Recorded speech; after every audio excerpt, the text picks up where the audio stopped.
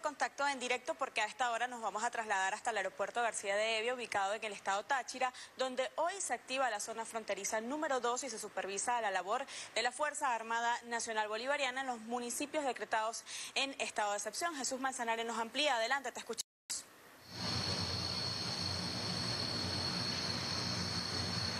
Muchísimas gracias. Son tropas de infantería de Marina y del Ejército que llegan aquí precisamente al aeropuerto internacional de La Fría, como ustedes pueden ver en las imágenes que a esta hora les ofrece Venezolana de Televisión, parte del despliegue que ofrece el gobierno nacional para garantizar la seguridad en la zona fronteriza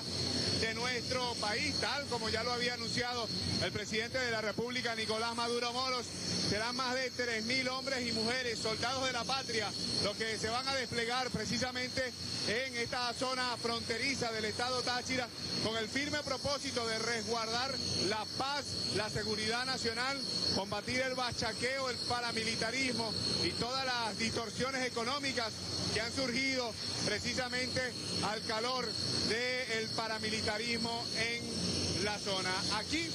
están todas las autoridades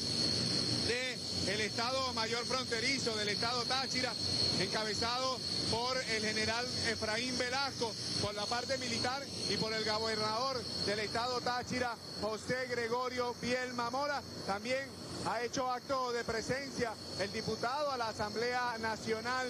Diosdado Cabello, presidente del Poder Legislativo venezolano y por supuesto también el hombre que va a dirigir la zona 2 del estado fronterizo, el general de brigada Luis Arrieta. Son tres aviones Y-8 de fabricación china que se adquieren precisamente gracias a los esfuerzos que está haciendo el Ejecutivo Nacional con el firme propósito de aumentar la capacidad operativa de la Fuerza Armada Nacional bolivariana, un plan trazado por el presidente de la República, Nicolás, eh, el comandante supremo Hugo Chávez, desde su llegada al poder en el año 1998, aumentar la capacidad operativa de la Fuerza Armada Nacional Bolivariana para resguardar no solamente la integridad de nuestro territorio, sino también la primera reserva de petróleo a escala mundial, la reserva de la faja petrolífera del Orinoco. Allí vemos entonces la llegada de las aeronaves Y-8 contentivas de todas las tropas de infantería del ejército venezolano para resguardar precisamente todo lo que tiene que ver con la zona 2 del Estado Mayor Fronterizo, que como saben contempla los municipios García de Evia, Colón, Coloncito y también Lobatera, la zona 1 ubicada en el extremo oeste del estado Táchira, está contemplada por los municipios Bolívar, Ureña,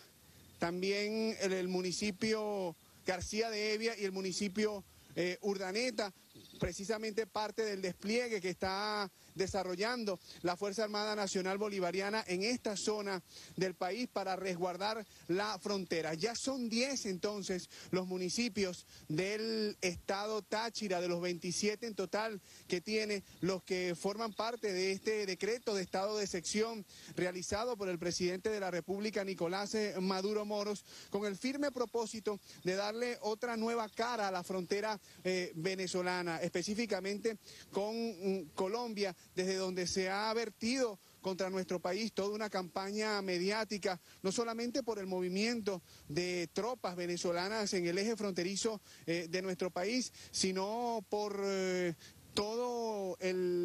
la campaña de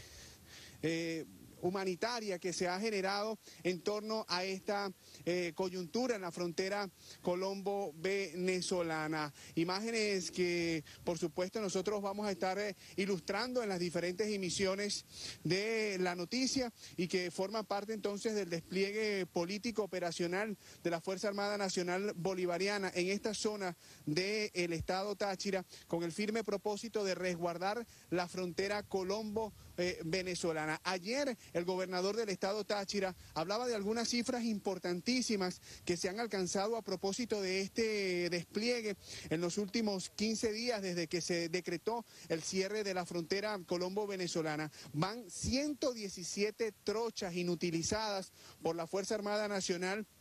bolivariana, eh, precisamente para evitar que eh,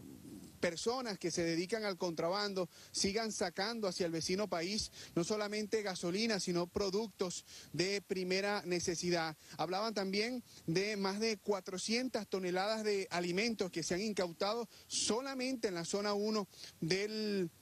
Estado Mayor Fronterizo, específicamente en San Antonio del Táchira y que le ha permitido a los habitantes de San Antonio, los sanantonianos de aquí del estado Táchira, reencontrarse con productos de primera necesidad que hasta hace poco pues no tenían acceso precisamente por el contrabando eh, de extracción que va hacia la hermana República de eh, Colombia. Se hablaba